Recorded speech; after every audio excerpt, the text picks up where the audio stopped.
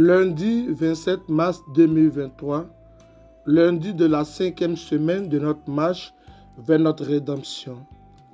Écoutons à présent l'évangile de Jésus-Christ selon Saint Jean au chapitre 8, versets 1 à 11. En ce temps-là, Jésus s'en alla au mont des Oliviers. Dès l'aurore, il retourna au temple. Comme tout le peuple venait à lui, il s'assit et se mit à enseigner. Les scribes et les pharisiens lui amènent une femme qu'on avait surprise en situation d'adultère.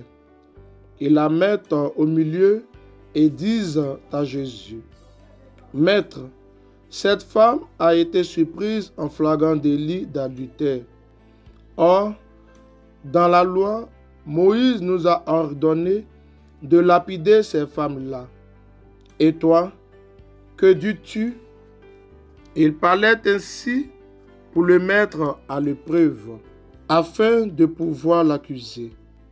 Mais Jésus s'était baissé et du doigt il écrivait sur la terre.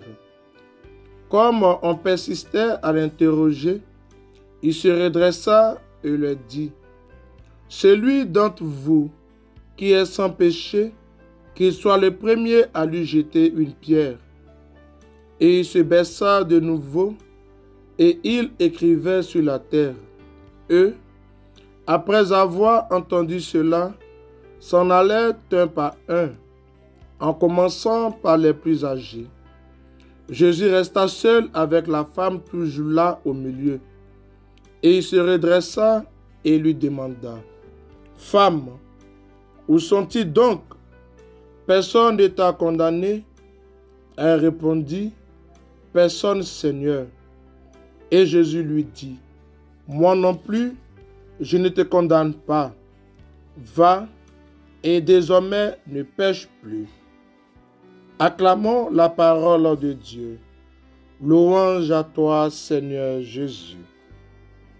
Moi non plus, je ne te condamne pas. Va et désormais ne pêche plus. L'évangile de Saint Jean soumis à notre méditation nous invite à contempler, mieux à méditer sur le jugement de Jésus. Ce n'est pas une innocente, mais une coupable que notre Seigneur Jésus-Christ se refuse à condamner. Pour Jésus, la miséricorde emporte sur la stricte justice prévue par la loi. Cette miséricorde n'est pas naïveté. Elle consiste au contraire à savoir très lucidement que tout homme ou toute femme est coupable, mais aussi que tout coupable peut, s'il est aimé, s'engager dans une vie nouvelle avec le Christ. Oui, frères et sœurs, le Seigneur manifeste en ce jour, face à nos péchés, à nos manquements, à nos égarements, sa miséricorde qui est sans limite.